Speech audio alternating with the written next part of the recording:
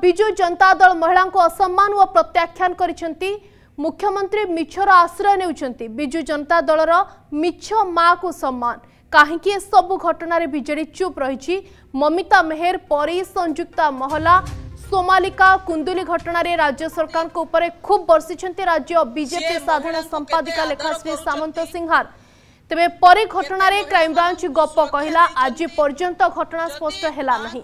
BJD ନାରୀ ନେତ୍ରୀ ସଂଯୁକ୍ତା ମହଲା ନ୍ୟାୟ ପାଇଁ କାନ୍ଦି କାନ୍ଦି ଶଙ୍ଖ ଭବନରୁ ଫେରିଲେ।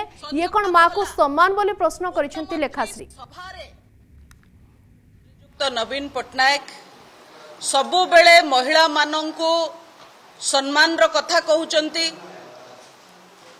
ସିଏ ମହିଳାଙ୍କୁ କେତେ ଆଦର କରୁଛନ୍ତି। କେତେ ମହିଳାମାନଙ୍କୁ ସୁରକ୍ଷା ଦେଇଛନ୍ତି ଯଦି ମାଙ୍କୁ ସମ୍ମାନର କଥା ଆପଣ କହୁଛନ୍ତି ତାହେଲେ ତାକୁ ପ୍ରମାଣିତ ମଧ୍ୟ କରିବାକୁ ପଡ଼ିବ।